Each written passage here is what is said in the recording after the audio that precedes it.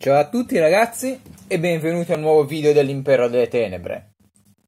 Eccoci qui con un altro unboxing, sempre dedicato alla linea SD Gundam World Sangoku Soketsuden, il model kit della Bandai Made in China. Infatti si tratta di un uh, sottolinea, sottomarca in realtà, non so bene come definirla, un brand dedicato principalmente al mercato asiatico, ma quello appunto dell'altra Asia. I giapponesi in un certo senso non sono proprio così aperti come si potrebbe credere e per alcuni prodotti, anche per i videogiochi, hanno la versione giapponese e quella asiatica. Questo infatti non è un modello che trovate semplicemente nei negozi Giappo, si tratta appunto di una versione dedicata al modello al mercato Asian, il 24 della serie.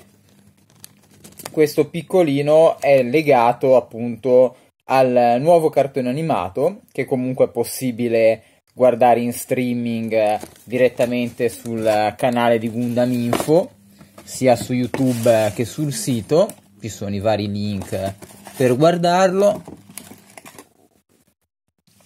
Così, insomma, il romanzo dei tre regni, che è appunto uno dei capisaldi del, della letteratura asiatica, soprattutto appunto per i cinesi, ha influenzato molto anche le altre culture andando a creare soprattutto Dynasty Warriors, poi anche molti altri manga e cose di contorno, e questa saga appunto vede i Gundam in versione SD prendere il posto dei personaggi del romanzo dei tre regni.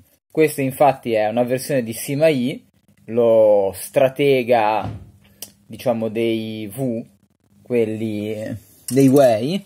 Anch'io ormai mi perdo nei sinonimi, o meglio nelle, nei pezzi di storia, perché infatti continuo ogni tanto a confondere i personaggi perché poi ce n'è davvero tantissimi e questo model kit vanta appunto parti clear nere, parti gloss dorate ma più scure, parti clear rosse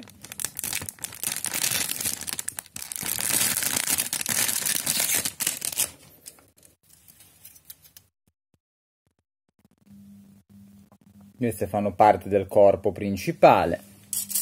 Il classico frame della serie, infatti lo sprua è sempre il corpo del personaggio, testivamente snodato. Questa cosa di avere uno sprue in comune per tutti i modelli, come un po' anche agli Ibo, abbassa il costo, soprattutto anche la difficoltà di produzione, semplifica il montaggio Qua ci sono giusto un paio di adesivi e soprattutto la cosa particolare, la doppia espressione, perché questo è il primo modello di tutti quelli che ho montato che ha la possibilità di cambiare la faccia, come invece era consuetudine per i modelli della linea BB.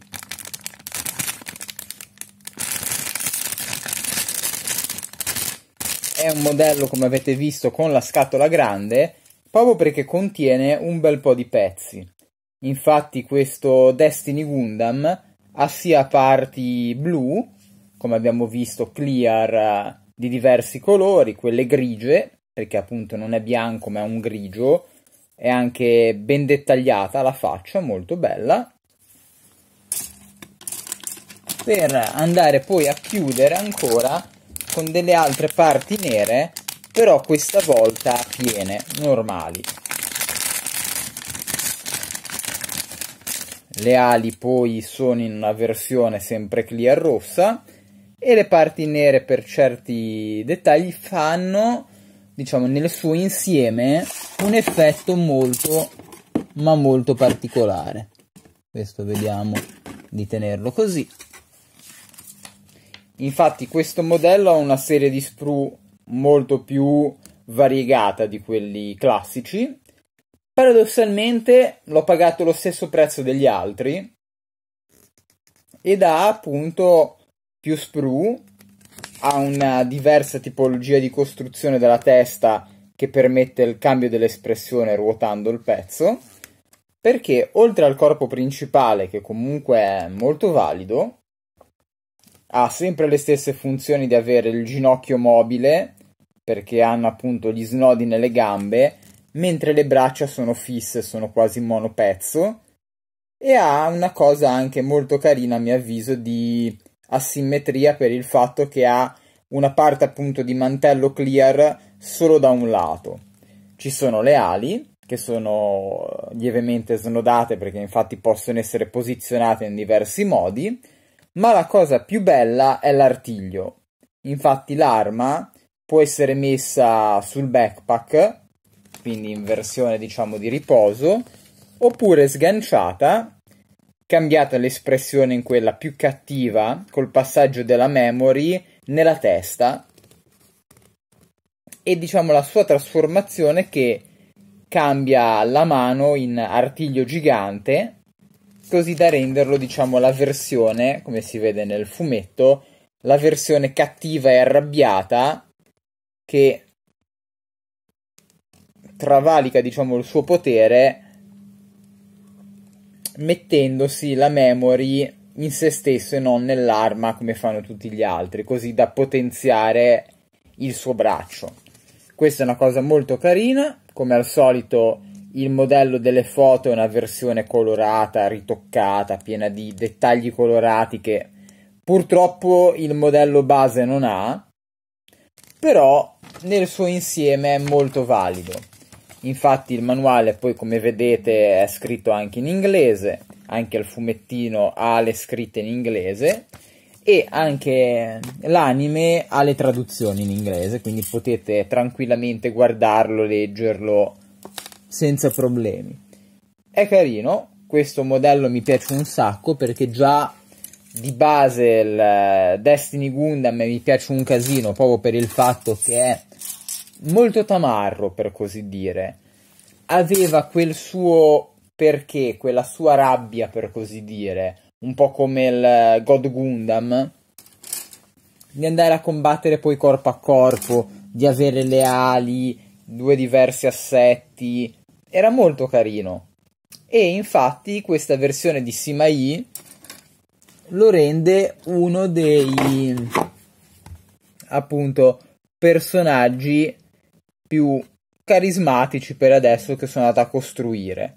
Infatti, questo è davvero un uh, bel pezzo pieno di parti dettagliate di diversi tipi di plastiche, così da avere un modello davvero ottimo, un piccolo SD però riccamente dettagliato proprio perché le parti che lo vanno a comporre sono diverse sono appunto di plastiche diverse, quindi la colorazione, le sfumature dei pannelli sono date da quello e l'utilizzo delle plastiche clear eh, con quelle gloss a me non dispiace affatto. Andandole a rifinire con un marker fine, le parti gloss rendono discretamente. E questo modello mi piace davvero un sacco. È davvero davvero bello. Andiamo a leggere qua. Il suo piccolo disclaimer. Simai si è guadagnato un posto nella mia collezione anche solo per il fatto che è bellissimo. È davvero bello richiederebbe un bel po' di rifiniture perché i piedi sono tutti rossi mentre qua ti fa vedere che ha le parti bianche e così via però tutto sommato è davvero davvero un gran bel modello. Quindi ve lo consiglio, spero che questo video vi sia piaciuto, spero che questi video in realtà vi abbiano anche fatto conoscere questa linea, questa chiamiamola sottomarca della Bandai, che da noi comunque è poco pubblicizzata, nonostante nei negozi italiani si possano ordinare, si possano far avere, si trovino online mm, è difficile trovarli effettivamente se non su richiesta. È una cosa che un po' mi dispiace perché in confronto ai vecchi SD questi sono molto più semplici da costruire, sono easy to build anche per appunto staccare i pezzi perché si sganciano al tocco perché hanno i gate già quasi pretagliati. Sono appunto belli perché hanno una conformazione di componentistica tra le diverse plastiche molto più incisiva di quelle quasi monocolore. C'è comunque il bisogno dei ritocchi, però ci sono i dettagli. Il molding è davvero ottimo e proprio per questo possono fare la gioia di un modellista grazie al loro design anche particolare. Infatti questa versione guerriero, appunto stratega con il braccio gigante, questa simmetria con il mantello, il braccio gigante, le ali, lo sguardo cattivo, mi piace un sacco. Proprio per questo sarà uno dei prossimi modelli che andrò a montare. Spero appunto che seguiate anche il blog imperodeletenebre.blogspot.com così da poter vedere poi anche la costruzione di questo piccolino. Quindi per adesso è tutto, vi saluto e vi aspetto al prossimo video.